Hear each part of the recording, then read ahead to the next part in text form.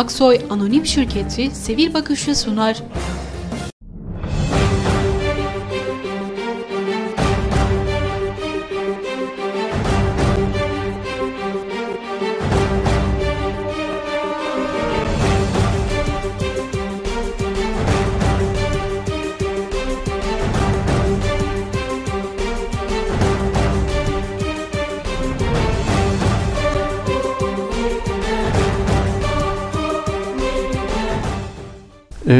Sevgili dostlar bugün de bir sivil bakış programıyla huzurlarınızdayız.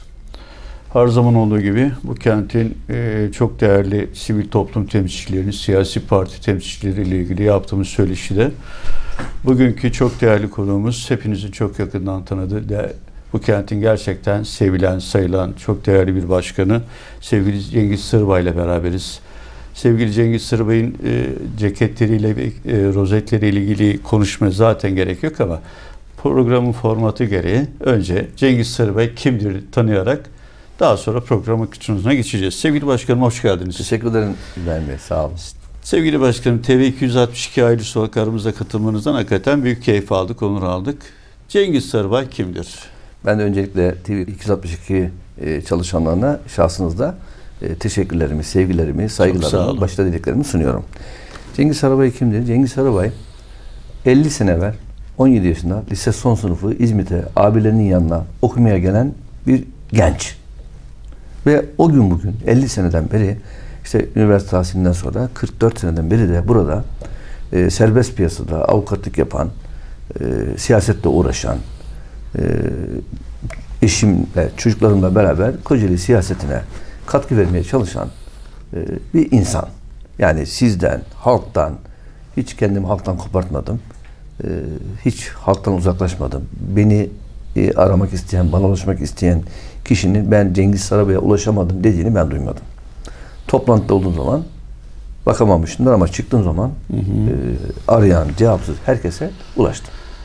Evet. Cengiz Sarabay evli, çocuklu. Torun evet, falan var evliyim. Başka? İki çocuğum var. Ee, büyük kız eşimle Allah avukat. Teşekkür ederim. Eşim e, avukat okulda biz tanıştık eşimle. Evlendik. İzmit'e taşındı o da. E, onun dışında büyük kızım e, aşağı yukarı 18-19 senelik avukat. Yazıhanede büronun başında. Evet. Hukuk işlerine, şirket işlerine bakar. Küçük kızım da avukat oldu ama şu an iş hukuku doktoru, doçent olacak. Ee, İstanbul Teknik Üniversitesi'nde işletme mühendisliği bölümünde iş hukuku öğretim görevlisi. Başarılar dileyelim. Evet. Dört torun, üç torunumuz var. Maşallah. Evet. Büyüttük Allah başlasın. Evet. Allah Çoğalsın. Herkese, herkese versin tabii. Evet. Ee, sevgili başkanım çok kısa bir geçiş yapalım. Ee, en, avukat olduğunuzu zaten bu kente herkes biliyor. Biz de onu da öğrendik ağzınızdan ama bir de e, şu anda bir siyasi kimliğiniz var. Bugünkü evet. siyasi kimliğiniz de bizim misafirimizsiniz e, Cumhuriyet Halk Partisi il başkanlığı evet. yapıyorsunuz. Çok kısa da oradan bir geliş tarihinizle ilgili bir bahsedelim. Şimdi şöyle söyleyeyim. E, sanıyorum Ekim ayının 90 e, 2015 Ekim ayındaydı. 4 Ekim'di. E, bir telefonla genel başkanımızın bir telefonuyla e, buradaki il başkanımız Cihat Altınyoğlu'nun istifasıyla e, sizi atamak istiyoruz dediler. Ben biraz e, yani başka birini bulalım genel başkana dememe rağmen ısrarla benim üzerine durunca ben de kabul ettim. Toparlayalım burayı dedik. Toparladık. Sonra aday oldum. Hiçbir aday da çıkmadı e, o günün e, gününde. E, işte o iki yıllık seçildim. Demek ki aralığın 27'sinde seçimimiz vardı. Yani evet. iki yılı doldurmuş olacak seçildikten sonra. Yani Ekim itibariyle de iki yıl, bir ay, 25 aydan beri il başkanıyım. Evet. Şimdi birazcık da yavaş yavaş sorularımıza girelim. Sevgili Başkanım, Ana Muhalefet Partisi CHP Kocaeli İl Başkanı olarak ülkenin bugünkü durumu ile ilgili değerlendirmeniz nelerdir? Şimdi şöyle söyleyeyim. Tabii eleştirmek kolay. Yani eleştirmek dünyanın en kolay işi. Eleştirmek yetmez. Eleştirmenin dışında eleştirirken sizin yol göstermeniz lazım. Muhakkak. Şimdi bakınız. Türkiye'nin 15 yıldan beri idare eden bir Adalet ve Kalkınma Partisi var. Evet. Biz de muhalefet yapıyoruz. Şimdi bu konularda, ekonomik konularında, siyasi konularda, iktisadi konularda Cumhuriyet Halk Partisi 15 sene beri ne dediyse haklı çıktı. Ve o haklı çıktığı konuların hepsinde Sayın Cumhurbaşkanı, Sayın Adalet Partisi, Kalkınma Partisi Genel Başkanı ben yanıldım yanıltıldım dedi. Nerede yanıltıldı? Dedik ki ya Suriye'nin iç işlerine karışma. Komşularımızın toprak bütünlüğünü sağlayalım. Rahmetli Bülent Ecevit Irak'ın toprak bütünlüğünü sağlayalım. Saddam'a sahip çıkalım dediği zaman Evet. kimse dinlemedi. Saddam işte faşisttir, Saddam diktatördür dendi. Saddam'ın diktatörlüğü nereden geliyordu? Bütün Amerikan ajansları, bütün uluslararası sermaye piyasasının ajansları Saddam'ı şey gösteriyor. e, diktatör gösteriyor. Biz de o algıyı alıyorduk. Halbuki o toprak bütünlüğünü sağlasak bugün ne Suriye'deki bir PYD hareketi ne PKK hareketi bu kadar palazlanamazdı. Yani biz o konuda yanlış siyaset güdüldü. Sıfır sorunla gelen bir Dışişleri Bakanlığı, Sayın, Sayın Davutoğlu sonra başbakan oldu. Sıfır sorun diye geldi. Ama maalesef bütün komşularımız da bizi e, kötü hale, anlaşılmaz hale getirdi. Halbuki bizim Türkiye Cumhuriyeti'nin Mustafa Kemal Atatürk'ün bir parolası var. De- diyor ki yurtta sulh, cihanda sulh. Biz bundan uzaklaştık. Diğer yargı bağımsızlığı konusunda, Ergenekon konusunda o zaman biz bağırdığımız zaman siz ihtilalcileri savunuyorsunuz, siz şunları savunuyorsunuz diye bize Cumhuriyet Halk Partisi'ne çamur attılar. Ama biz o gün bu yargılamaların adil olmadığını, bu yargılamaların pompalı olduğunu diyorduk. Bunları FETÖ yapı, yani F tipi yapılanma idi bizim ağzımızdaki deyimi. Sonra FETÖ oldu. Evet. O F tipi yapılanmadanın yanlış olduğunu savunduğumuz zaman bunlar siz kimi savunuyorsunuz diye yani bunlardan kastım Adalet Kalkınma Partisi. Kimi savunuyorsunuz diye bize e, kahır ettiler. Yani bizi yanlış buldular ama bizim dediğimiz doğruydu. Şimdi kalkıp biz yanıldık diyorlar. Peki bunlar bunun dışında e, işsizlik sorununu mu çözdüler? Efendim hayat pahalılığını mı azalttılar? Yeni bir fabrika mı kurdular? Yeni bir iş yeri mi açtılar? Hayır. Evet duble yollar yapılmış olabilir. Tabii ki yapılacak. Efendim köprüler yapılmış olabilir. Tabii ki yapılacak. E benim paramı yapıyorsunuz. Ben borçlanıyorum. Ha yapılmasın demiyoruz. Tabii bizim e, ülkemizin insanları daha iyi şeylere layık. Bunlar yapılsın. Ama yani bunlar e, sizin Lütuf gibi mi? Lütuf gibi değil. Ben yaptım. Ne yaptın sen? Hiçbir şey yapmadın. Babanın parasıyla yapmadın. Yani bizim, bizim paramızla doğru yatırım yapmanız lazım. Ucuz yapmadılar lazım. Bunlar 30 sene, 20 sene efendim Yuvacık Barajı'nı Sefa Silmen pahalı yaptı diye söylediler. Biz Evet. sesimi çıkartmadık. E biz de şimdi dediğimiz zaman işte Yavuz Selim Köprüsü pahalı oldu. Efendim Fatih bilmem ne Köprüsü pahalı oldu dediğimiz zaman niye kızıyorsunuz? Siz de pahalı yaptınız. Evet. Yani buradan şu sonuç çıkıyor. İyi şeyler yapalım ama bunu ekonomik hale getirelim. Rantabl olsun. Yani ülkemizin dışarıya borcu azalsın. Doğrusu da bu. Evet. Sevgili Başkan, CHP'nin bugünden 2019'a sürece ilişkin değerlendirmesi nedir? Bu süreç yönetim ve eylem planı olmuş mudur? Bu sürece dair söylemlerinizi öğrenelim. Şimdi artık Türkiye'de yani Kocaeli'de Cumhuriyet Halk Partisi'nin oy oranı yüzde 25. Kocaeli'de ve Türkiye'de. Biz çok çalıştık diyelim. İlçelerim, gençlik kollarım, kadın kolları bütçe çok başarılı. Yüzde 40'a çıkarttık oyumuzu. Biz başarılı mıyız? Geçmişte bu olmuştu zaten. Olmuştu. Biz başarılı sayacak mıyız kendimizi? Sayamayacağız. Sayamayız da.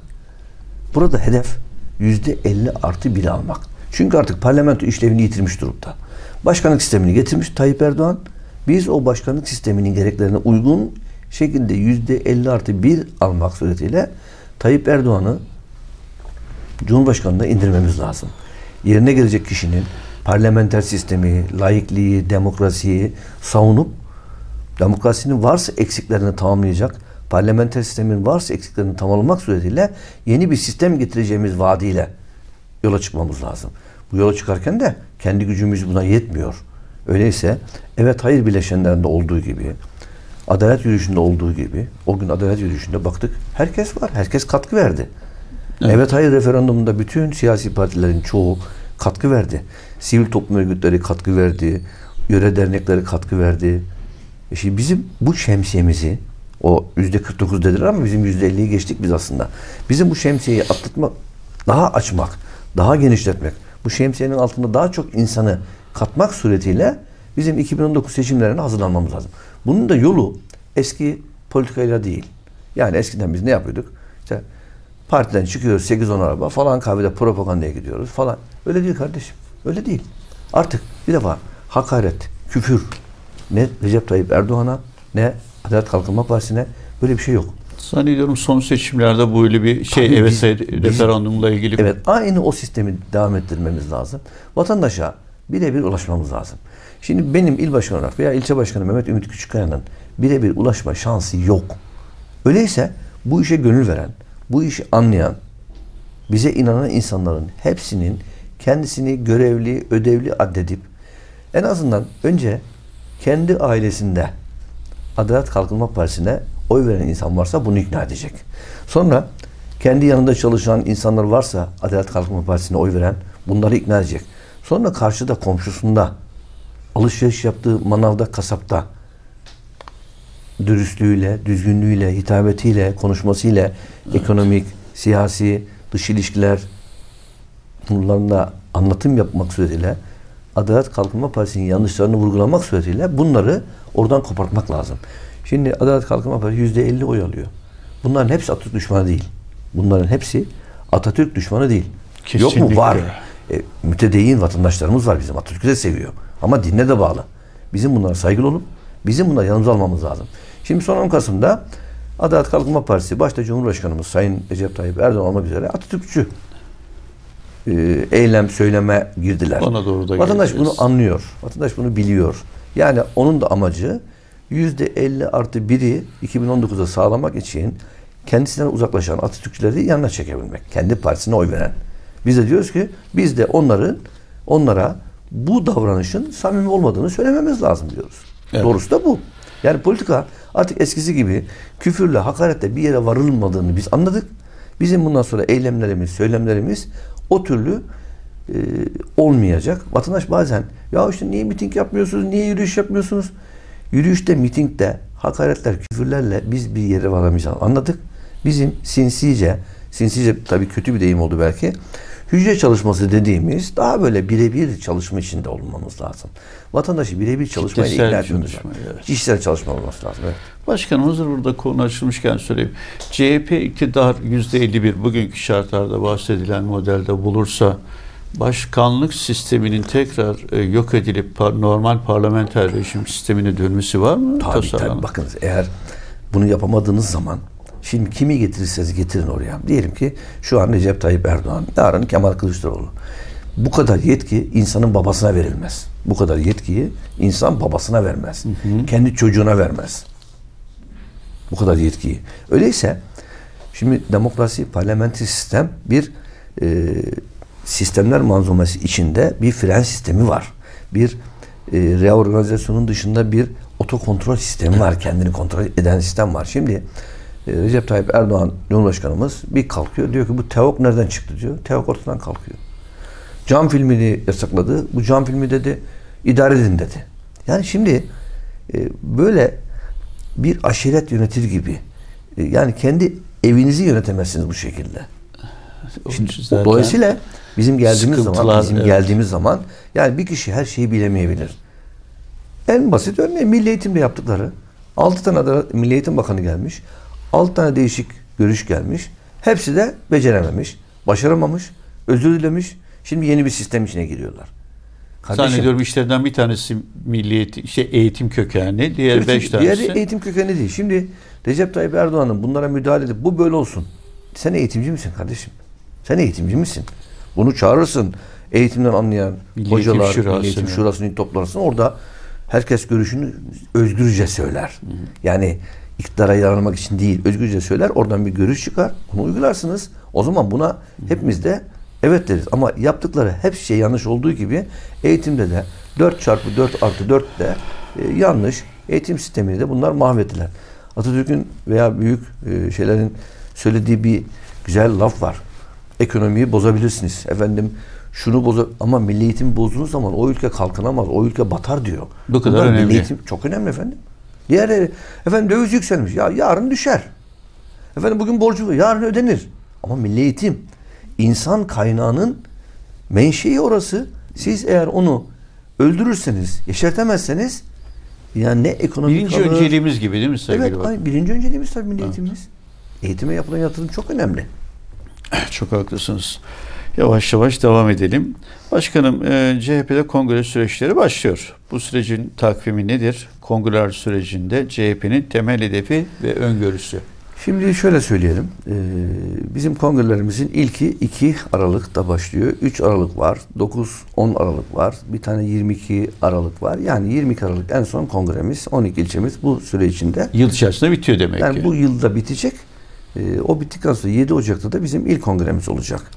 Şimdi buradaki hedefimiz e, yani ben daha önce de il başkanı yaptığım için mesela 1987-88'de il başkanı olduğum dönemde çok itiraz gelirdi ile yapılan yanlışlıklarla ilgili. 2009-2010 döneminde e, yine il başkanı olduğum zaman bir sürü her ilçeden itirazlar gelirdi. ile ilçelerin yaptığı yanlışlıklar nedeniyle. Ama bakınız bu defa iki veya üç ilçeden bize itiraz geldi. Hı. Bu da hiçbir şey değil. Ve İzmit'te 50 mahallemiz var. Bakın 50 mahallemiz var. 52 de köyümüz var. 50 mahallenin 40-45 tanesinde tek liste yapıldı. Yani oradaki kanaat önderlerimiz, partilerimiz oturdu, uzlaştı. Dedi ki delegasyon şunlardan şunlar olsun. İşte gençler olsun, kadınlar olsun dendi. Sandıklar Sandıklarda hiçbir sı- sıkıntı çıkmadı. 4-5 mahallede çift liste veya 3 liste çıktı. Ya Kaptan gibi işte Orhan Mahallesi Evet. gibi. Onlarda da gayet demokratik bir şekilde seçimler yapıldı. Kaybeden ben haksızlığa uğradım demedi. Bak çok önemli bu. şey, Neden? saygı. Çünkü hayır çünkü yanlış yapılmadı. Yani yanlış nasıl yaparsınız dedi. A mahallesinde 300 kişi vardır. Seçimi kaybedeceksin. Oraya 100 kişi başka mahallede aktarırsın. Ha, Bir günde aktarırsın gece. Ertesi gün 400 kişilik seçim yaparsın. Sunni üyeler. Sonra öyle bir şey hiç yapılmadı. Ben ilçe başkanlarımıza rica ettim. Delege seçim öncesi topladım, çağırdım. Bakın arkadaşlar ben bir hukukçuyum. Ben geri geriye döndüğüm zaman ya hukukçu il başkanı Cengiz Sarabay şurada yanlış yaptı. Bizim hakkımızı yedirdi dedirtmek istemiyorum. Ben Örnek olmamız gerekir ki. Örnek olmamız lazım. Bana güvenip haksızlık yapmayın. Haksızlık yaptığınız zaman karşınızda beni bulursunuz.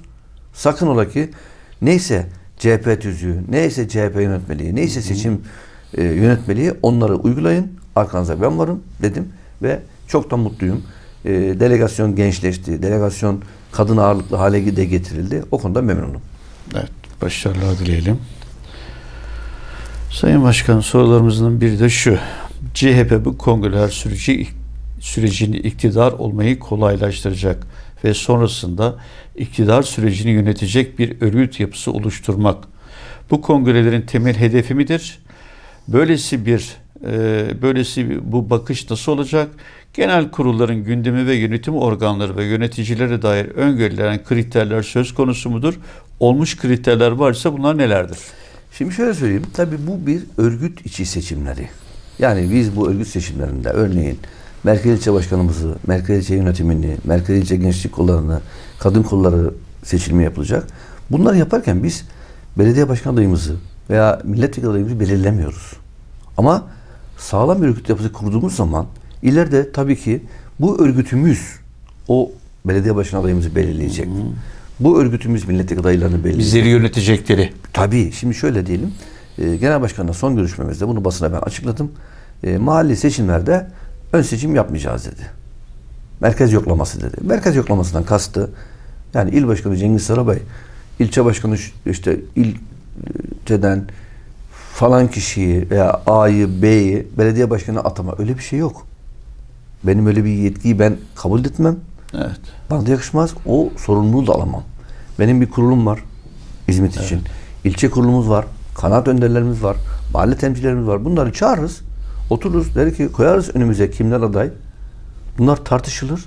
Bir güzellik içinde bir e, şey usuletli, suhuletli demokratik şekilde herkes görüşünü belirtmek suretiyle aday belirlenir. Mutabık işte o kalırlar. aday belirleme işini yapacak olan örgütümüz şu an seçimde ortaya çıkacak örgütümüzdür. Yani gerek ilçelerimizin örgüt yapısı gerek 7 Ocak'ta benim seçimim olacak. ilden çıkacak örgüt yapısı bu adayları belirleyecek. Veya Tamamen yarın üyelerin seçtiği, Tabii. yöneticiler, yöneticilerin Tabii. seçtiği adaylar. Tabii bu aynı zamanda 2019'da olacak olan milletvekili seçimleri ön seçim yapılacak. O ön seçim yönetecek yönetim bu bunlar. Dolayısıyla çok önemli. Muhakkak. Tabii yani birinci basamakta eğer biz Yükünüzü de hafifletiyor tabii, değil mi? Tabii yapar. Yani burada daha önce e, bazı belediye meclis üyelikleri seçiminde bazı eleştiriler e, işte kırgınlıklar olduysa o dönemi iyi yönetemediğimizden oldu. Eğer Evet. iyi yönetebilseydik olmazdı ama ben bu dönemde o yönetimlerin daha iyi olacağına inanıyorum. Peki. Sayın Başkan, CHP'nin iktidar olması olanaklı kılınan adımlar ve yapılacak işler sizce nedir? Şimdi bir defa e, kendimizi e, halka dokunur hale getirmemiz lazım. E, bizde biraz böyle biraz aristokratlık görüntüsü var gibi partimizde. Yani biraz böyle halktan kopuğuz gibi. Cami cemaatinden kopuğuz gibi. İşte spor derneklerinden kopuğuz gibi. Yöre derneklerinden kopuğuz gibi. Sendikalardan kopmuşuz gibi. Şimdi bunlar tabii bir öz eleştiri aslında. Şimdi bakınız. Cumhuriyet Halk Partisi'nin Kocaeli'de mali yönetimler dahil birinci parti çıktığı dönemlerde Kocaeli'de bulunan tüm sendikaların başında iyi sendikacılar, solcu sendikacılar vardı. Ne zaman ki bunlar sendika başkanlıklarında işte selloz iş, harp iş, efendim petrol iş, petkim iş gibi yani saymakla bitmez. Bunların hepsinde artık o solcular yok. Bunlar biraz daha uzlaşmacı, biraz daha e, düzene uyan sendikacılar geldi ve biz parti olarak geriye gittik. Aynı şekilde ben görüyorum, ben arkadaşlarıma söylüyorum. Kardeşim sizin mahallenizde, oturduğunuz yerde spor derneğin var. Git bu spor derneğinde çalış, üye ol. Efendim cami derneğim var. Git o cami derneğine çalış, üye ol. Ben tabii bu aracılıkla kendi vatandaşlarıma, bize güvenen insanlara da mesaj vermek istiyorum. Evet. Gitsin çalışsınlar. Bunun yolu bu. Yani gelip il başkanı çalışmıyor, ilçe başkanı çalışmıyor. O sen ne yapıyorsun? Yani bunu eğer siz, siz sırf yöneticilere bırakırsanız bu çalışmayı, iktidar olmayı e, yı, bu başaramayız. O vatandaşlarımızın bu partiye oy veren veya bizim gibi düşünen bu partiye oy vermese de yani parlamenter sistemi savunan insanların hepsinin kendi mahallesinde aktif olay, aktif hale gelmesi lazım. Başkanım söze başlarken aristokratlıkla ilgili bahsettiniz. Hakikaten doğru. Bir gözlemimi paylaşayım. Ee, 99-2004 döneminin ben de bu mahallede İzmit doğumluyum. 63 yaşındayım. Bu mahallede doğup büyüdüm. Buranın tozuyla, çamuruyla lüle oldum. Mahalleme hizmet, kente hizmetin dışında bir de mahalle anlamında hizmette verdim. 99-2004 dönemi mahalle muhtarlığını yaptım. Tabii ki mahalleye gelen siyasi partilerin, bütün siyasi partilerin, temsilcilerin seçim zamandaki gezilerinden ben de kısmen katıldım. İşte mağduriyeti olanların özellikle yerlerini göstermekle ilgili.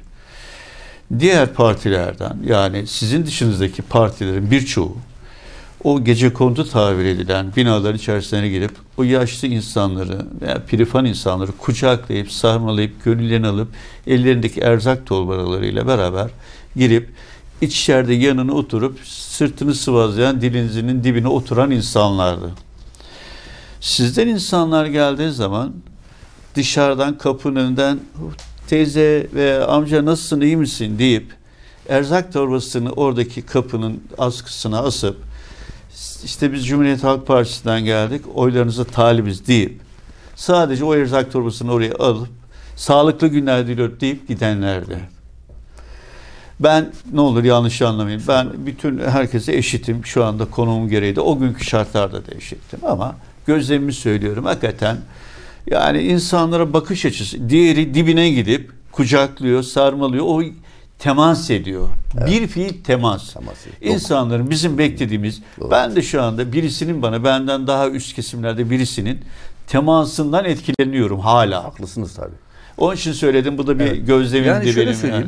yani. E, tabii zaman zaman bu türlü hatalar yapmışızdır ki işte ne bileyim seçimde hata yapmışızdır, insanlara tatmin etmemişizdir, iyi adayı çıkartamamışızdır, insana dokunamamışızdır. Bu partiyi bu hale getirdik.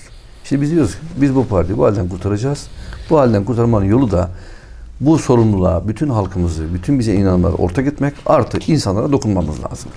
Başka Yani dokunmak çok önemli Çok gerçekten. önemli, çok önemli, Haklısınız çok yani. önemli. Ben Siz ki bu konuda zaten uzmansınız.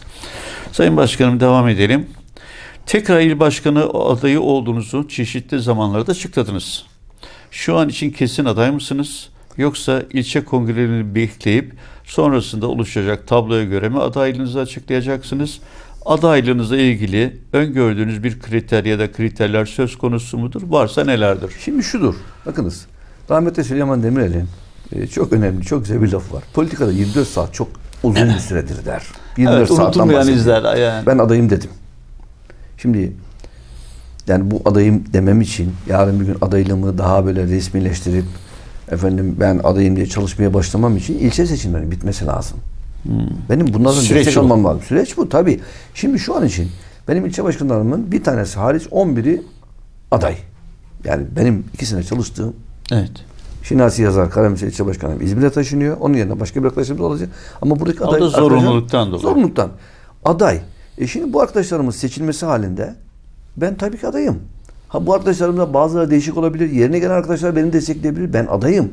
Ama şimdi ortak konsensüs sağlayamamışız. Ya ben o zaman arkadaşlar destek bulamadım aday değilim derim. Ya bundan daha da normal bir şey olabilir mi? Evet. Samimiyetle söylüyorum. Tabii ki destek bulursam aday olacağım. Ama ben adayım. Aday olmayı istiyorum. Hı hı. Bu parti sahipsiz değil. Bu parti benden daha iyi il başkanı yapacak bir sürü kişi var. Arkadaşlarımız var, kardeşlerimiz var. Ya bu parti benim babamın çiftliği de değil. Ben bugün varım, yarın yokum. Bakın çok güzel bir ilmi nasıl kazandırdık. Ya bunu herkesin, bütün partilerimizin takdir etmesi lazım. Evet. Yoktan var ettik. Olan bina satıldı. Biz yoktan var ettik. Pazar günü orada bir hitabet eğitimi e, yaptık. 100 kişi geldi aşağı yukarı davetli. Yani orada bütün salonlar dolu, çaylar içiliyor. Toplantı salonu bizim toplantı salonumuz. Yani kendi mekanımızda biz daha önceden böyle bir toplantıyı kahvede gidiyorduk. Veya başka bir e, tut salona gidiyorduk. 500 lira 1000 lira para veriyorduk. Şimdi kendi mekanımızda bunu rahatlıkla yapıyoruz. Tertemiz, sigara içilmeyen bir ortam. Bundan daha bir güzel şey olabilir mi? İnşallah. Yavaş yani yavaş tabii yeni planlarımız, yeni programlarımızı yapacağız. Ee, bu iki seneden edindiğimiz tecrübeyi de katmak suretiyle, daha önceki birikimlerimize katmak suretiyle yeni dönemde çok daha Cumhuriyet Halk Partisi'ni tüm Kocaeli'de faal, etkili, inandırıcı bir hale getireceğiz. Evet. Sevgili Başkanım sorularımız daha devam edecek ama kısa bir reklam arası vermek zorundayız. Sevgili dostlar bir reklam veriyoruz. Reklamlardan sonra tekrar beraberiz.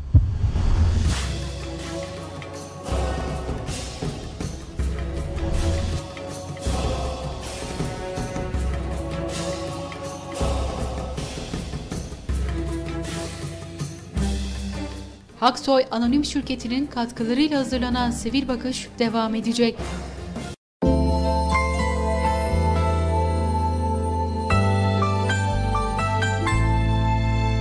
Lösemiymiş hastalığımın adı.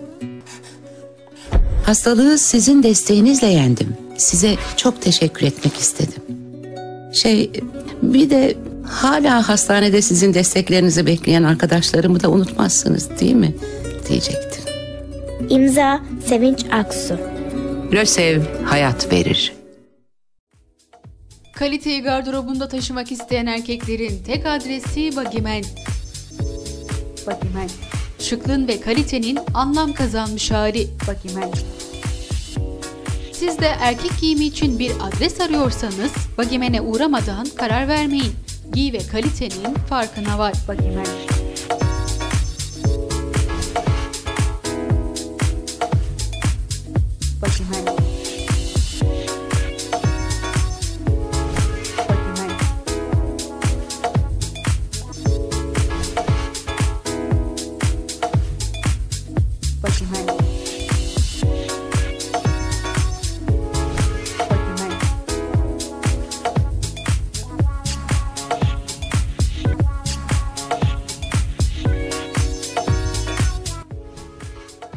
Bakimen. Adres İnönü Caddesi, Ömer Ağa Mahallesi, No 156'ya B, İzmit, Kocaeli. İletişim 0262 322 2892. Bakkal çalışırsa tüm şehir kazanır. Gördüğünü değil, lazım olanı al. Aldığın ürünlerde kasa ve raf fiyatı farklı olmasın. Son tüketim tarihi yaklaşan ve gramajı düşük ürünlerin indirimli fiyatına kanmayın. Akşam habersiz gelen misafirine mahcup olma, bakkal amcan burada. Alışverişini mahalle bakkalından yap, ekonomiye can kat. Sokağınız aydınlık çünkü bakkalınız açık. Sadece ticaret yapmıyoruz. Yüzlerce yıllık bir geleneği yaşatıyoruz. Bakkallar yaşamalı. Yok oluşuna baka kalmayın. Emin olun sizin pozitif ayrımcılığınıza ihtiyaçları var. Geç kalmayın.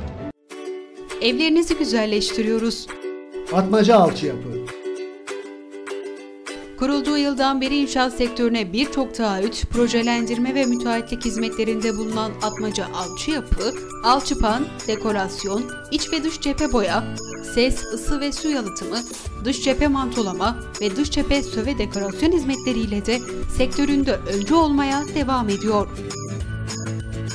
Estetik tasarımlar ve dekoratif çözümler sunan Atmaca Alçıyapı, Kocaeli'de binlerce müşteriye hizmet vererek kaliteyi ön plana çıkartıyor. Sizler de uygun fiyat avantajlarıyla kaliteli hizmetten yararlanabilir, evinizin güzelleşmesini sağlayabilirsiniz. Kadıköy Mahallesi, Turay Güneş Caddesi, No 223, İzmit, Kocaeli. İletişim 0262 321 60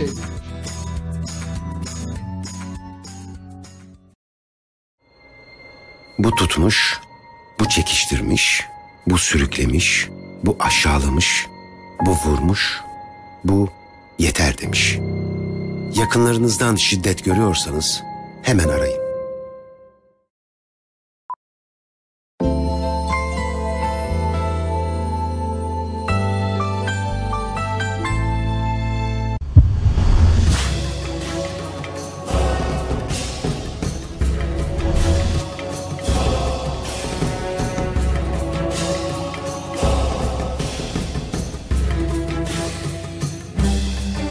Haksoy Anonim Şirketi'nin katkılarıyla hazırlanan Sivil Bakış devam ediyor.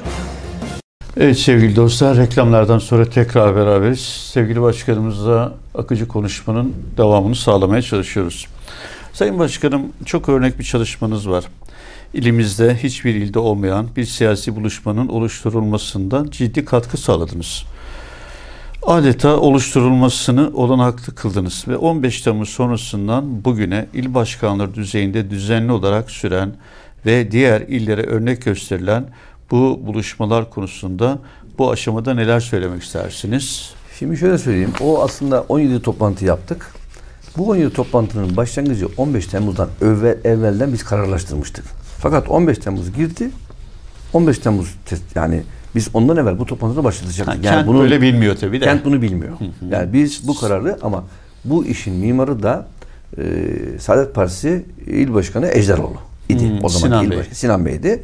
Böyle bir öneri getirdi. İşte 5 il başkanları aradı. Biz bir araya geldik ama 15 Temmuz'dan sonra oldu. Şimdi tabii burada e, çok eleştiri aldım ben.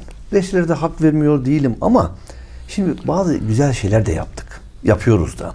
Yani ben şunu şunu yaptık demek istemiyorum. Ama en azından ya en azından 100-150 tane FETÖ'cü adı altında benim partiliyim, tanıdığım FETÖ'cü olmayan insanların işten atılmasını, yargılanmasını önledik.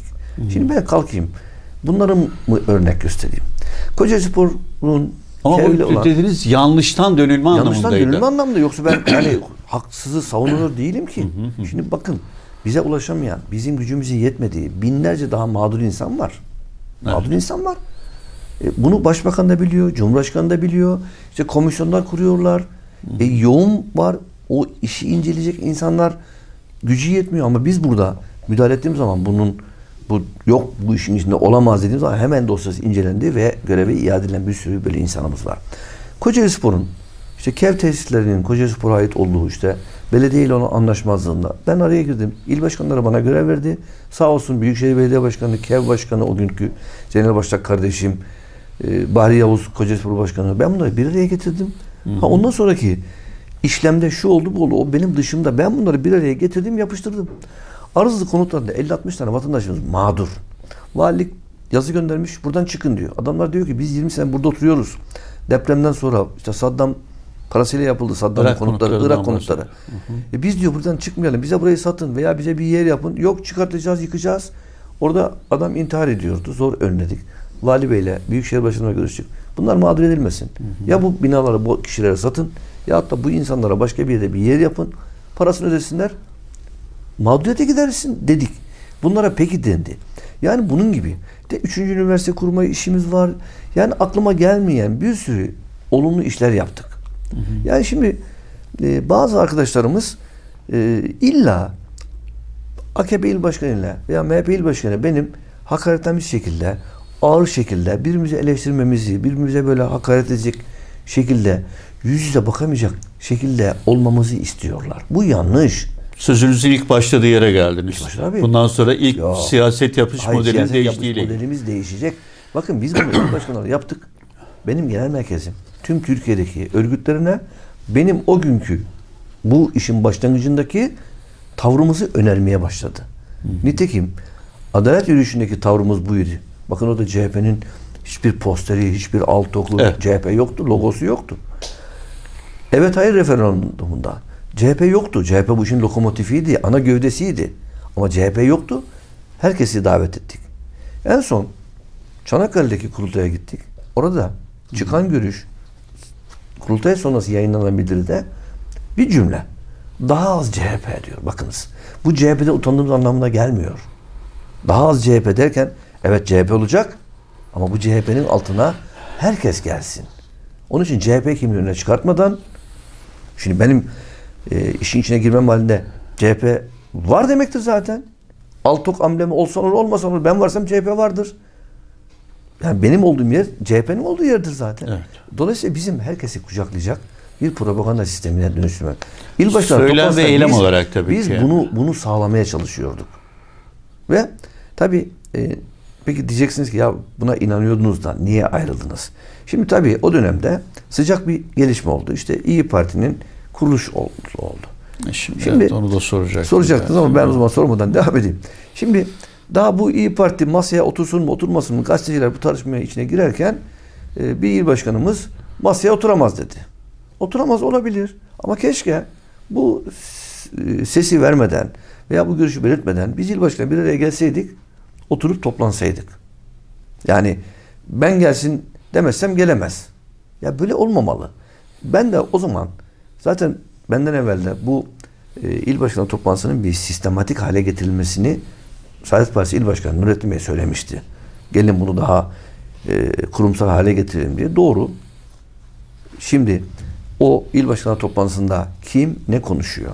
Kim hangi fikri savundu? Kim hangi fikri savunmadı? Bunların bir tutanak haline getirilmesi lazım. Bir sekreteriyası olması lazım. Örneğin yeni bir parti kuruldu. İyi parti değil de e, kötü parti diyelim. Bu parti buraya girecek mi girmeyecek? Buna kim karar verecek? Hangi oy oranıyla karar vereceksiniz? Oy birliği mi? Oy çokluğu mu? Yani bunun bir yönergesi, Kriteri bir olmalı. yönetmeliği, bir kriteri olmalı. Biz bunu belirlemeliyiz. Biz bunu belirlemeliyiz. Ondan sonra da kardeşim kriterimiz bu. Yani bu yere girmeniz için şu kriterle taşımanız lazım. Şu oy birliğini sağlamanız lazım dememiz lazım. Yani bunu il başkanı toplantısını eğer il başından sonra ben katılacaksam bunun e, daha böyle işlevsel, daha kurumsal bir kimlik kazanmasını istiyorum. Aksi halde ben buna devam edemem yani. Yani bu birazcık bizlikten çıkıp benliğe doğru gitmiş bir ifade gibi. Gibi oldu tabii. Gibi Evet. oldu tabii. Peki başkanım, e, kongre, oraya da geleceğim ama sırayla gideyim. Kongreler sürecince iki ay süreyle e, bu buluşmalara katılmayacağınızı beyan ettiniz. Evet. Doğru değil mi bu ifade? Bunun nedeni nedir? AK Parti tabanından gelen eleştiriler mi? Parti, parti tabanınızdan gelen eleştiriler mi?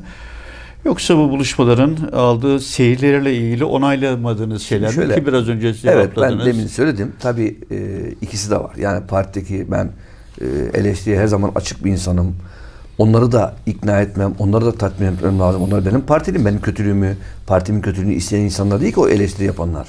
Burada şey olanlar benim partilimden çok bazı bu partiyi dizayn etmek isteyen basın mensupları var. yani kardeşim tamam sen görüşün yaz ama yani o te- o derece ağır eleştirilerde bulunuyorlar. O derece ağır böyle e, e, sözler söylüyorlar ki bizim düşünmediğimiz, aklımıza gelmeyen şekilde eleştirmeye ben her zaman açığım. E, hiçbir eleştiren, eleştiri yazısı yazan yazara, arkadaşımıza açıp da telefon niye bunu eleştiriyorsun beni demedim demem de. Eleştirsinler. Biz eleştiriye açığız. Ama bu sırf eleştiriden dolayı değil. O yani son gelişen İyi Parti'nin kuruluşundan sonraki yani biz bunun böyle keyfilikten çıkartılması İyi Parti örneğin katılacak mı katılmayacak mı ise buna bir yönergeyle daha önceden belirlenen bir sistemle karar verilmesi lazım geldiğini hissettim. Bu keyfilik durumu oluştuğu için yılbaşından sonra eğer devam edeceksek bu keyfiliği önleyecek önlemler almamız lazım. Geldiği için ben iki ay dedim. Yoksa yine katılabilirdim ya sıkıntı yoktu. Yani o zaman örneğin MHP il başkanı yeni kurulan İyi Parti'nin bu masaya oturup oturmayacağı ile ilgili bir açıklamasına dayalı mı birazcık bu? Biraz öyle oldu tabii. Biraz öyle oldu. Yani tabii daha önce de başka bir partinin de ismi geldi. Ona da mesela dedik ki işte e, yasa dışı örgütlerle ilişkini kestiğini açıklasın önce dedik. Yani onun için yani bunun kriteri ne olacağını bizim belirlememiz lazım. Daha. Başkanım yeni gelmişken Türkiye'de örnek model olduğunuz gibi biliniyor. Örneği var mı? Türkiye'de örneği yok. Örneği yok. Örneği yok. Yani bu konuda e, biz aslında bir çığır açtık. E, inşallah bakınız e, şeyin Doğan Cücenoğlu'nun bir yazısı vardı. Bundan 2-3 hafta evvel bir e, röportajı vardı. Şunu söylüyor. Diyor ki Türkiye'deki siyasilerin bu yüksek perdeden hakaretamiz, birbirlerinin karalayıcı, küfürlü, küfüre varan eleştirileri vatandaşın sinirini bozuyor diyor. Cinsel istismar, çocuk istismar, kadın ölümleri gibi Türkiye'nin kabul etmeyeceği, yakışmayan davranışların sebebi budur diyor. Yani Cumhurbaşkanı gittiği her yerde CHP demese, evet. gittiği her yerde bunlar iki davarı güdermez demese.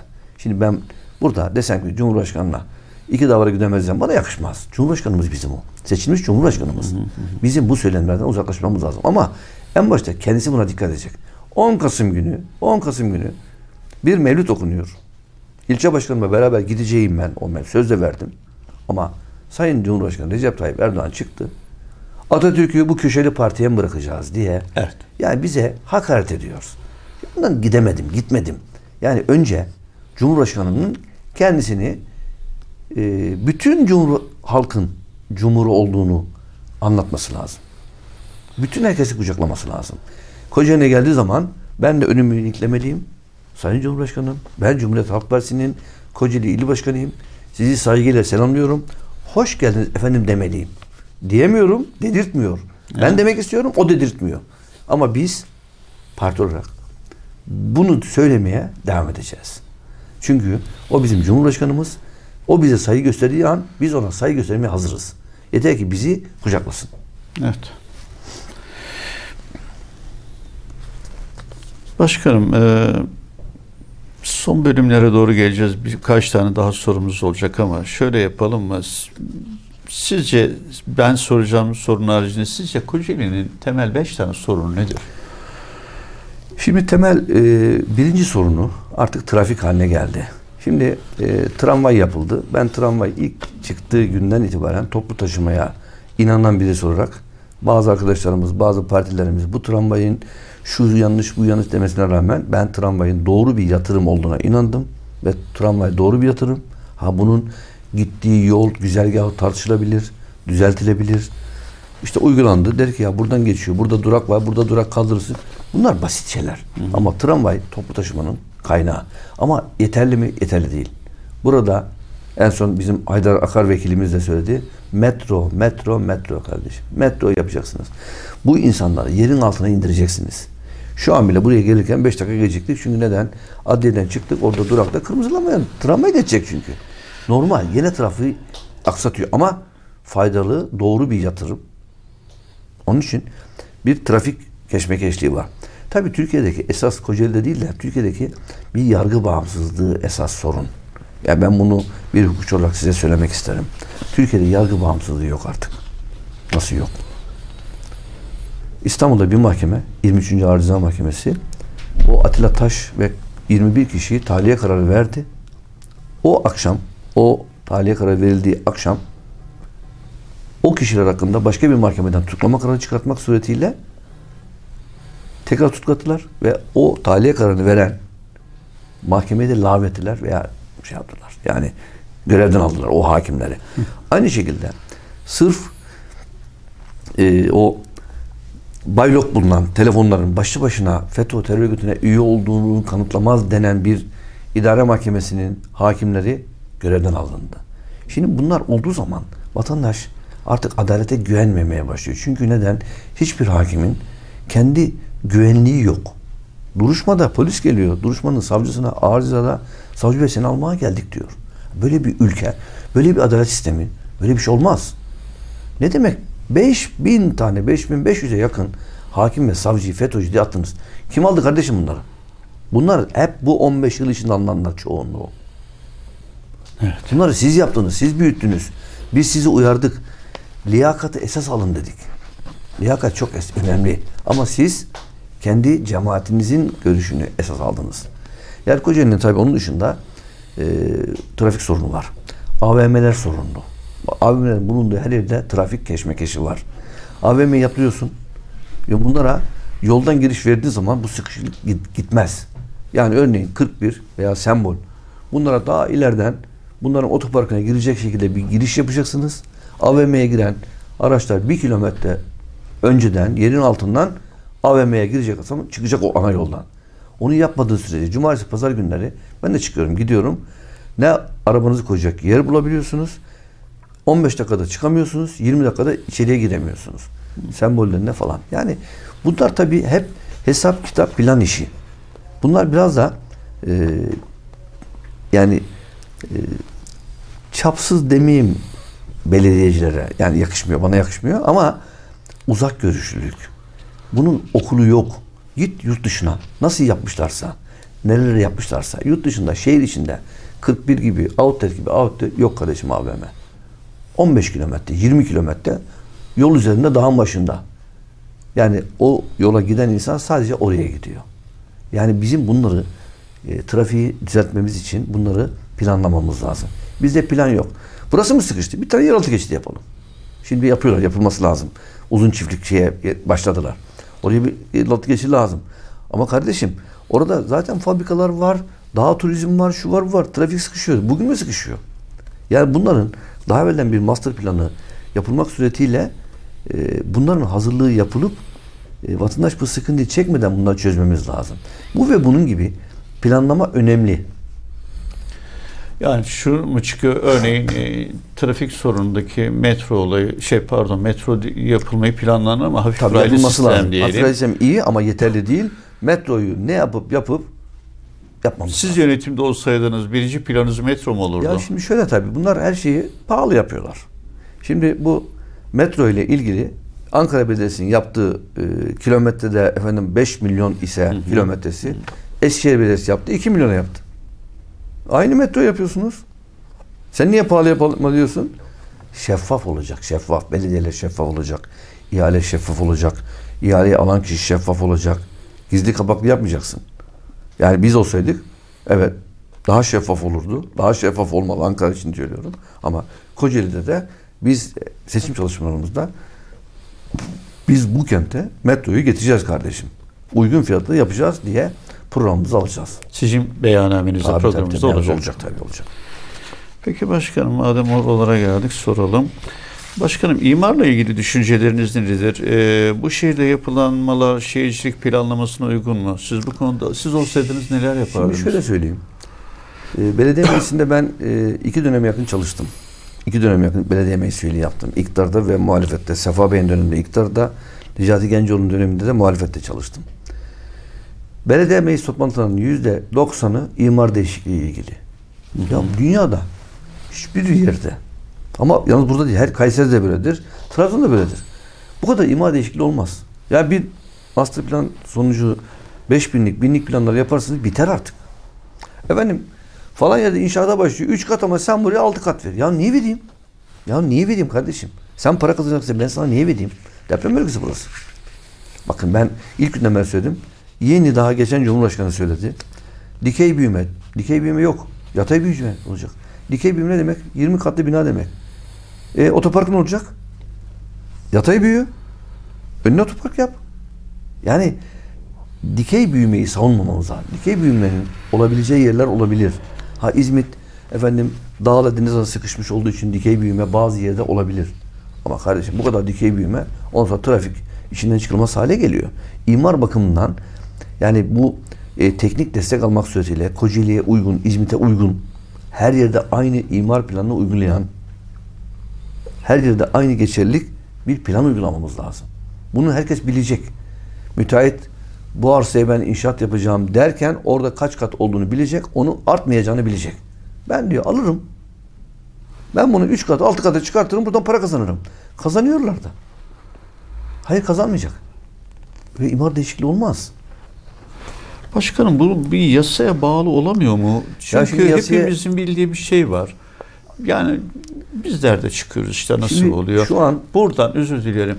Mesela buradan ta Macaristan, Slovakya, Avusturya, Slovakya'ya kadar yaptığım bu Orta Doğu, şey Orta Avrupa gezilerimin bir tanesinde şehir merkezlerinin hiçbirinde hakikaten yeni yapılanma bir site hiç görmüyorum. Standart bir ev yapımı modeli var. İşte üç katlı gibidir. Ama hep bu e, mevcutu restore ediliyor, korunuyor. Tamam bu güzel bir şey. Ama şehrin hakikaten 20-30 kilometre dışında yeni yeni siteler yapılıyor belli. Fakat o şehrin merkezine gelip de böyle 10 katlı, 3 katlı yan yana bizdeki gibi olmuyor. Bunun hakikaten bizde bir o- biz Şimdi- bunun beceriksiz miyiz bu konuda Tabii ya? beceriksiziz, tabii beceriksiz. Şimdi zaman zaman belediyelerden almak suretiyle işte TOKİ'ye, kent konuta, e, İmar İskan Bakanlığı'na e, imar ruhsatı verme veya imar değişikliği yapma hakkı veriyorlar. Niye veriyorsun? Ankara'daki adam, İmar Bakanlığı'ndaki adam, İzmit'in A mahallesindeki kaç kat yapacağını nasıl karar veriyor? Görmeden bilmeden masa üzerinde. Olmaz. Bunu yerel yönetimler yapmalı. Ama yerel yönetimlere bir tatil konmalı kardeşim. Sen şunları yap, tasdik olsun bir daha bunlar değişmez. Ha, çok- Keyfiyete dayalı gibi oluyor Keyfiyete işte. dayalı oluyor tabii. Ondan sonra vatandaş mağdur. Ben arsamı satıyorum 3 kat yapılacak diye. Adam alıyor benden arsamı 3 kat değil 6 kat yapıyor. 2 kat katladı karını. Müteahhit veya işte arsa sahibi Evet. değişiklik olduğu zaman. Ya bunların bizim e, şahsa bağlı imar Aynen değişikliğinden efendim parsel bazında imar değişikliğinden uzaklaşmamız lazım, yasaklamamız lazım. Artı yerel yönetimlerin bu konuda yetkilerini artırmamız lazım. Ama biz bir zapturapt altında olması lazım bunun. Keyfi olmamız Değiştirilemez kanun Evet. hükmünde kararname Aynen gibi bir öyle şey. olması lazım. Aynen öyle olması lazım. Çok kötü bir olay Çok yani. kötü bir olay maalesef. Ee, ben e, kızım e, İngiltere'ye gitmişti. Orada bir hangi ilçede yani bir Londra'nın bir ilçesinde eğitim için gitti. Geldiğinde sorduğum ilk soru kızım ne dikkatini çekti sen dedim. Ortaokul 2'de. Baba dedi bütün binaların yüksekliği aynı dedi. Bakın bütün binaların yüksekliği aynı. Ortaki çocuk. Ortaki okuyan kız çocuğu. Ne dikkatini çekti? Yani sen gittin gördün Türkiye'nin dışında bütün binaların seviyesi aynı dedi. Balkonlar aynı diyor. yani Yani evet. bu böyle olmalı ama. Şimdi ben de aynı şeyi Tabii gözlemledim. tabii aynı şey, aynı şey, yani. aynı şey doğru söylüyorsun. Başkanım e, bir başka konumuz da e, Marmara Denizimiz. E, Hakikaten dünyada ben de gidip görebildiğim ülkeler arasında böyle denizlik e, yakası koy olan güzel yerlerden pek yok. Bunca burada yapılan bunca dolgu ve sanayileşmenin bu kente verdiği katkı ve zararlar neler? Siz bu konuda siz olsanız ne yapardınız? Şimdi neler e, yapmazdınız? Sayın e, İbrahim Karasmanlı e, insan olarak severim. Ve onun bir veya iki sene, üç sene evvel söylediği burada bir tek limana ben izin vermeyeceğim dedi. Ama maalesef Kocaeli şu an limanlar şehri haline geldi. Sanki bu kadar sanayi, bu körfezi berbat ettiği yetmiyormuş gibi. Safi Port diye bir yer yapılıyor. Ben sizden rica ediyorum. Şu anda yeni mi yapılıyor? Ay, Yapılıyor orada, inşaat yapılıyor. Bir gidin bakın. Dubai Port. Dubai. Safi Port dediğimiz şey Dubai Port, Dubai Port. Burada Safi Port şeydeki Derince'dekinden bahsediyorum ben. Ha yok o Dubai- Dubai Port Yarımca'da. Yarımca'daki o Körfez'de. yapıldı. Biliyorum. O şey. Ama şimdi gittim ben oraya baktım. 5 metre yüksekliğinde. Değirmenlere yaklaşmış. 500 metre içeriye girmiş. Kimin hakkı var o orada halkın halka ait olan kıyıyı işgal etmek? İbrahim Bey'in sözü vardı Karasmanlı'nın. Liman yapılmaz diye. Niye engel olmuyor? Bakın. Olmuyor mu oluyor. olamıyor mu başkanım? Efendim olmuyorsa bırakacak gidecek. Heh. Ben engel olmayı sözü verdim. Ben buna engel olacağım demesi lazım. Şimdi efendim İrade. limanı yani liman ne yapar? Liman pislikten başka bir şey getirmez. Hamallar para kazanır. Üç tane hamal indirir bindirir. Bilmem forklift kazanır. Bunun dışında o limanların derinceliğe hiçbir şey yok. Oradan çıkan mal otobana girecek. Günde 3000 tane araç çıkacak. Derincenin trafiği de işinden çıkılmaz hale gelecek. Aynen. Yani bu bu limanlar Kocaeli'nin başının belası. Şimdi başka limanlara da izin veriyorlar. Verecekler. Şimdi Yıldız Sunta'yı istiyor. Ülker grubu istiyor. Mannesman'ın yanındaki yerde liman yapılacak. Yani bunun önünü almaları lazım. Kocaeli'nin bundan kurtulma, kurtulması lazım. Evet başkanım zannediyorum 10 sene kadar önceydi. Yani 8-10 sene civarında. Ee, çevre platformu, Batı Karadeniz Çevre Platformu'nun ben de çevreyi birazcık duyarlıyım. Bu anlamda e, burada bir üyesiydim, katıldım.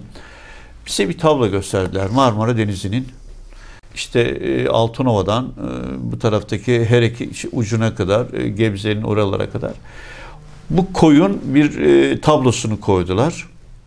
1965-70 yıllar arasının Körfez haritasıydı.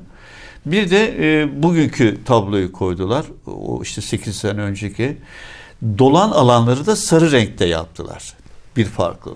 Yani inanın dolan alanları ben şu anda kaç e, metrekare veya metreküp o alanlarda olduğunu hatırlamıyorum. Çünkü zaman geçti ama yani korkunç derecede bir rant kapısı açılmış. Evet, evet. Ve bunun benim yaşam alanım olan, bu kente bir birey olarak yaşam alanım olan, hakkı benim hakkım olan, kullanılması bana hak olan bir e, denizimin dolgusuna ben de seyirci kalmışım evet. halk olarak. Evet. Yani hakikaten e, özür dileyerek söylüyorum. Kim üzerine alınırsa alınsın yazıklar olsun. Yazıklar olsun. Yazıklar olsun. Yazıklar olsun. Yani ben böyle coğrafi e, konumu güzel bir şehrin bu şekilde kirletilmesine, pisletilmesine ve bunun da sermaye olarak aslında bize dönmeden başka bir yerlere gitmesinin faturasını bize ödettirmelerine sebep olan her kim varsa bugünküyle, dünküyle, geçmişiyle hepsine yazıklar olsun diyorum. Yani evet tamam bu kent dağla deniz arasında sıkışmış coğrafi konumu böyle bir kent. Ama bu kentin bir de var olan bir değerleri var. En azından o değerleri koruyalım diye bir düşüncemiz vardı. Şimdi tabii e, Sefa Silmen döneminde biliyorsunuz bu çevre arıtma tesisi falan filan yapıldı. İzmit'in kokusunu yani sizler gençler hatırlamaz ama bizler biliyoruz. Tabii ki. İzmit'in içinde yazın durulmazdı. Su sorunu vardı. Şu baraj yaptı. Evet. Çevreyi bu düzenledi. Yani ama siz hala o çevredeki yere işte liman yapmak suretiyle yeni fabrikalar izin vermek suretiyle yeni sanayileşmeye izin vermek suretiyle bu şehrin iyice içinden çıkılmaz, iyice yaşanılmaz hale gelmesine neden oluyorsunuz. Onun için kesinlikle artık bu sahildeki limanların hepsini kaldırmak lazım. Buraya liman olmak Sayın Başkanım, 67 vilayet içerisinde Rize'den sonra en küçük vilayet Kocaeli'ydi. Evet. 67 içerisinde evet. söylüyorum. O günkü şartlara göre nüfus oranı, Kocaeli nüfus oranının çok geri idare edebilir bir durumdaydı. Ama bu büyük şehir yasasıyla depremden sonra özellikle bu yeni yapılanmanın bir de e, zannediyorum 2010 yılındaydı. İstanbul'da Uluslararası Dünya Tarihi Başkenti yaptılar. Macaristan'ın evet, evet, Budapeştisiyle evet. beraber. Evet. E, ben e, birazcık o Macarlarla ilgili bölümüm vardı onun için biliyorum. Şimdi Orada alınan bir karar da şuydu. İstanbul'daki irili ufaklı bütün sanayileşmenin ya da çirkin yapılanmanın tarihi dokuya zarar vermemesi adına ya da görsellik anlamında çevre illere gönderileceğiydi. E, bugünkü sayıma bakıyorum. 1.850 bin civarında Kocaeli'nin nüfusu var. Metrekare elinden Altınova bölgesi de alınmış, Yalova'ya verilmiş, daha da küçültülmüş bir şehir oldum. Evet. Metrekareye düşen insan sayım İstanbul'dan sonra ikinci ve ben hala bu şehirde 10 sene sonra nasıl yaşayacağımı kara kara düşünmek evet, zorundayım. Çok yani nasıl bir şehir olduk? Şimdi nasıl yaşanmaz bir şehire doğru değil. Bunu da şimdi tabii onun yolu da organize sanayi bölgeleri yapılıyor. Sanayinin şehirden çıkartılması lazım. Organize sanayi bölgelerine, şehrin dışına taşınması lazım. Onlara e, bazı imkanlar verilmesi lazım. Bazı işte e, ayrıcalık tanınması lazım ki sanayici buradan şehrin içinden çıksın gitsin, deniz kenarından çıksın gitsin. Beni çok eleştirdiler. 96 yılında bara başkanıyken Ford'u buraya kurdurmak istemedim. Ya gitsin Ford Kandıra'da çorak bir yerde verelim ona 2000 dönüm yer. Deniz kıyısında niye? Ama Ford'un işine var. geliyor. Koç'un işine geliyor. Niye? Orada çıkartacak arabayı oradan gemiye dolduracak. Ya 10 kuruş fazla olsun. 10 lira fazlaya gelsin. Oradan bindirsin arabasına, tırlara yüklesin götürsün. Yani biz o 2000 dönüm araziyi o gün bedava verdiler. Hatta Sayın Süleyman Demirel Biliyorum. ben Çankaya Köşkü'nün bahçesini Bahçesi. verin dedi. Biz dedik ki olmaz vermeyin. Bedava vermeyin en azından. 2000 dönüm yeri bedava. Yani bu bir anlayış işi. Bu bir zihniyet işi. Başkanım Gittiğimiz her hala devam ediyor. Tabii devam ediyor. Gittiğimiz yurt dışındaki her yerde meydanlar, yollar geniş geniş. Niye? Rant düşünülmemiş. Bina evet. yüksekleri eşit. Hepsi evet. aynı şekilde evet. rant düşünülmemiş. Kimseye ayrıcalık verilmemiş. Yani bizim e, bunları e, bir önlem olarak halletmemiz lazım. Başkanım devam ediyor dediğim nokta aklıma geldi. Köseköy Tepecik Mahallesi. Biliyorsunuz evet, evet. şu anda e, lojistik depo alanı depo olarak alanı yapılıyor.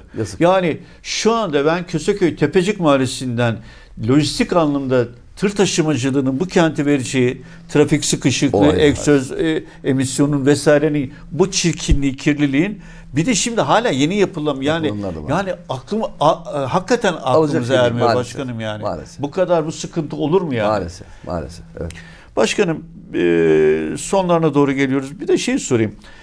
Buranın bu sanayi başkenti olmaktansa e, bu kentin aslında e, bir kazanımı var mı sanayi kenti olmasının? Ya Yoksa bu kent sanayi hakikaten kenti- bir de tarihi yönü de var aslında. Tarihi- bilinmeyen bir tarihi. Tabii bilinmeyen tarihi yönü var ama biz onu bu sanayiyi İzmit'te sanayi getirmiş olmakla sanayi kenti yaptığımız için onu göz ardı etmişiz. Onun nedeniyle sanayi kentine turist gelmez. Sanayi kentine turist gelmez. Çünkü sanayici alışveriş için gelebilir. Onun için bundan sonra siz artık burayı, burayı sanayi kentinden uzaklaştıramazsınız. Ama bundan sonra yapılaşmayı, sanayi yapılaşmasını önlemek suretiyle bunlara engel olabilirsiniz. Ya burayı daha bir turizm açabilirsiniz, deniz turizmini açabilirsiniz. Marmara Denizi'ndeki balık çeşidi dünyanın hiçbir yerinde yok. Biz balığı yiyemiyoruz. Niye? Deniz kirletildiği için poğaça diyor ki Marmara'dan çıkan de, balıkları yemeyin diyor. Evet. Ya şimdi bu kendi elimizle kendi şeyimizi kirletiyoruz. Ya bunun yolu bu sanayileşmeden uzaklaşmak, limanları burada yaptırmamak, çevre düzenlemesiyle birlikte e, şeyi e, yani evsel ve e, fabrik atıklarında fab, e, şeye karışmasını önlemek, önlem almamız lazım. Almıyorlar maalesef. Önlem almadan deniz kirletilmeye devam ediyor. Eskisi kadar değil. Ama yine şu an bile denizi kirleten işte gemileri de var, limanları da var. Hepsi var. Peki sanayinin başkenti olmanın hakikaten o ağırlığı kadar bir geliri var mı? Bence yok. Bence yok. Bence yok. Çünkü neden yok? Ee, yani e, bazı yerlerde sanayide teknik çalışan kişi çok olursa maaşlar yüksek olur. 3 bin lira, 4 bin olur. Şimdi siz sanayi kuruyorsunuz. Ama Asgari- böyle diyorsunuz baktığınız zaman gelir olarak Kocaeli Hayır, en Tabii ki bazı fabrikalar var. Şimdi SK fabrikası kapandı. 4 bin kişi, 3 bin kişi orada yüksek ücret alıyordu. İksaç kapandı. Petkim kapandı.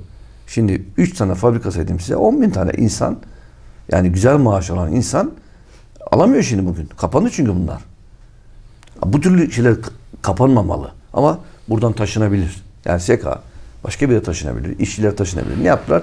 Belediyelere doldurdular. Belediyelerden lüzumsuz şekilde personel ist- istihdam ettiler. Yolu bu değildi bunun. Evet. Peki bu kentteki e, hakikaten siz böyle iktidara gelirseniz tarihiyle ilgili bu kentin yapılanmasına katkı verir misiniz Şimdi başkan? şöyle söyleyeyim. Yani bizim e, İzmit'te her yapılan hafriyatta tarih fışkırıyor. Ama maalesef biz bunları yok ediyoruz. Evet. Yani yaptığımız her yerde İzmit'te bir tarih var. Aslında bizim yani yöneticiler olarak, yönetim, belediye yönetimler olarak, mali yönetimler olarak buna sahip çıkmamız halinde bu kültürü biz koruruz. Ya Budapeşte dediniz demin. Budapeşte'ye biz gittik. Gülbaba Türbesi diye bir türbe. Evet. Başka bir şey yok. Herkes buradan giden oraya gidiyor. Nedir? İki katlı, üç katlı bir ev, bir bahçe içinde. Evet, bir ev. evet, evet. İzmit de bunun gibi. Yani 150-200 metre bir yer. Efendim Hristiyanlara ait olan yani her şey var. Yapılanma var, şu var, kilise var vesaire, eski eser. Bunları bizim ortaya çıkartmamız lazım. Ortaya çıkarttığımız zaman burası turistten geç. Yani siz Adapazarı'nda e, tarih bulamayabilirsiniz. Ama burada bulursunuz. Öyleyse bunu burada kullanmamız lazım bizim. Bizim bunu öne çıkartmamız lazım burada. Sevgili başkanım çok kısa anlatayım. Ee, 99 depreminde mahallemde yıkılan bir binanın mal sahibi e, binasının olduğu alanı bir otopark yapmak için harfiyat alırken e, bir heykele rastlıyor. Hafif düzeltirken. Çünkü o kadar yüzeysel artık o fışkıran tarih. Korkuyor, alıyor, üç tepelere getiriyor. Üç tepelerde bir koskoca devasa bir heykel kamyon harfiyatıyla beraber dökülüyor. Ama 2-3 gün içerisinde yağan bir yağmurdan kolu bacağı meydana çıkıyor. Köylü vatandaş, jandarma, jandarma arıyor vesaire. Bulunuyor tabii buraya ait olduğu biliniyor, bulunuyor. Ve şu anda bu heykel şu anda arkeoloji müzesinin kapındaki dünyada sayılı olan zannediyorum 4-5 de sınırlı Heraklis heykeli. Heraklis heykeli. Heraklis Evet. heykeli. Güç sembolü.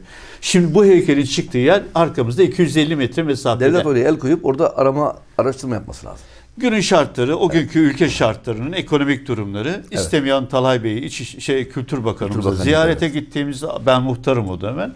Ee, işte ilimizin müze müdürüyle beraber böyle şartlar, bu gelişmeler var dediğimizde kendisinin çok hoşuna gitti müze müdürümüzün anlatımıyla ama yapacak bir şey yoktu. Biz de kendisine şunu söyledim. Gelin burayı kızın üç şey istiyoruz sizden. Ben mahalle muhtarıyım. Bunun için bütün gücümü kullanacağım. Mahallemizi alın bir yere taşıyın. Siz bize buna karşılık aynı adı verin. İki, bu eserler olduğu yerde teşhir edilmek üzere taşınmamak kaydıyla. Çünkü hala renkler üzerinde duruyor kemerlerini.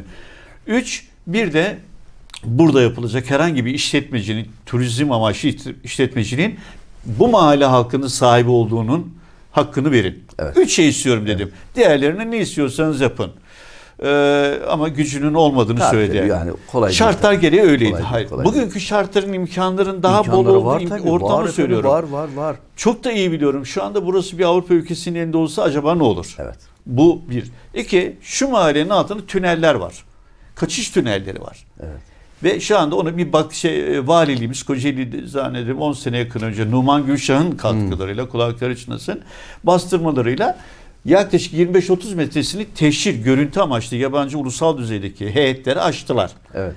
Öyle bir tüneller var, kaçış tünelleri var. Yani mahallenin altı komple tarih. Tarih biz bunun ama biz bilemiyoruz. bunu üstüne çıkartamıyoruz. Evet, biz bunu yani böyle bir, bir mevcut Yani olanı bunları- da yapamıyoruz bunları- sevgili bunları başkanım. Tabii program almak suretiyle bunlar belediyeleri de aşabilir ama bunları bir parti programı içinde yani yalnız burası değil nerede tarih varsa bizim orada sahip çıkmamız lazım. Bizim orada tarihi öne çıkartacak, turizme katkı sağlayacak e, çalışmalar yapmamız lazım. Çünkü tarih e, ekmek istemez, aş istemez. İnsan gelir taşa, e, mağaraya bakar, döner gider. Yani bir masraf olan bir şey değil. Yeter ki orada bir örgütle insanları oraya getir, görsün. O nedenle sizi ziyaret etsin. Bunu Yani turizm, turizm, turizm diyoruz. En büyük kalem, gelir kalemlerinden bir tanesi var olan bir şey var ama bunu değerlendiremiyoruz. Sevgili Başkanım son iki soru kısa kısa alabilir miyim? Ee, sorunların çözümü için CHP'nin ulusal ve yerel iktidarı mutlak, e, mutlak gerekli midir? Yoksa CHP iktidar olmaksızın da bu sorunların çözümüne katkı sağlayabilir mi? Şimdi- Sağlayabilirse bunlar nasıl yani olabilir? şöyle katkı sağlayamaz. Tabii ki önerilerimiz oluyor parlamentoda falan filan. Yani ne bileyim işte ülkenin en önemli sorun hakkında bir gençlerin önergesi veriyor milletvekillerimiz. Görüşülüyor. Oy çokluğuyla milletvekili çokluğuyla reddediliyor. Sonra bir bakıyorsun ki bu gündeme taşmış. Aa biz yanlış yaptık oluyor. Yani şimdi burada siyasi iktidarın muhalefeti dinlemesi lazım. Ya bir şey istiyor. Ya gelin şunu bir, bir mecliste bir araştırma önergesiyle tartışalım. Yok tartışma kültürü yok. Yani neden? İşte bu CHP varken, bu CHP varken e, hep Cumhurbaşkanımızın e, Cumhuriyet Halk Partisi'ni dışlaması, adam yerine koymaması, genel başkan hakkında ağır laflar etmesi nedeniyle maalesef Yerelde de böyle mi başkanım? Yerelde de böyle değil. Yerelde biraz daha biz e, uhulletli suhuletliyiz. Yani ne buradaki il başkanı Recep Tayyip Erdoğan gibi ağır sözler söylüyor, zaman zaman söylüyor, cevabını da alıyor. Ne ben onun hakkında ağır sözler söylüyorum. Yani Nezaketi ama birazcık tabii, ön planda. Biraz ön plana tutuyoruz doğrusu. Peki başkanım son soru gibi. Ee, son günlerde AK Parti'nin Atatürk'le ilgili söylemleriyle ilgili ne düşünüyorsunuz? Ya şimdi tabii geldikleri nokta bizi sevindirir. Yani ülkenin, Türkiye Cumhuriyeti'nin, her vatandaşımızın Atatürk'e ihtiyacı var. Yani gözümüzün önünde Atatürk olmadan Osmanlı gibi yaşayan, işte Afganistan, Pakistan, Irak, Suriye gibi diktatörlükler var. Ülkemizde bir parlamenter sistem, bir demokrasi, bir cumhuriyet rejimi kuruldu. Efendim kılık kıyafetten tutunuz da, efendim yazıdan tutunuz da, e, yani ilimle ilgili, fenle ilgili her şeye kapı açan bir cumhuriyet rejimi oldu. Bunun kıymetini biz biliyorduk. Ama maalesef buna hep sataşıyorlardı. İki ay yaş dedi. İki ay yaş diyordu. Şimdi Atatürkçü oldu. Yani bunun kendini inandırması için daha çok çalışması lazım. Daha çok ekmek yemesi lazım. Onun için ama geldikleri nokta bize yaklaştıkları için sevindirici ama samimiyetine ben de dahil kimse inanmıyor. Bunun sürekli olması lazım. Yani seçim yatırımı olmamalı. Tabii seçim 2019 yatırımı gibi Olmamalı. geliyor. 2019'dan sonra gene bildiğini okuyacak. Bunlar çünkü mehter takımı. İki ileri bir geri devamlı. Yani halkı bu şekilde idare edeceklerini sanıyorlar ama e, bunların e, şeyi tekeri patladı. Bu patlak teker üzerine 2019'da bunlar gidici. Bunlar artık halkımız el sallayacak. Biz de el sallayacağız inşallah. Peki. Sevgili başkanım, e, buradan mesaj vermek istediğiniz Evet, herhangi bir kitle var mı? Öncelikle e, fikirlerimi e, kamuoyuna, halkımıza ulaştırdığınız için ben hepinize, bütün çalışanlarınıza teşekkür ediyorum. Başarılar diliyorum. Çok çok teşekkür ederim.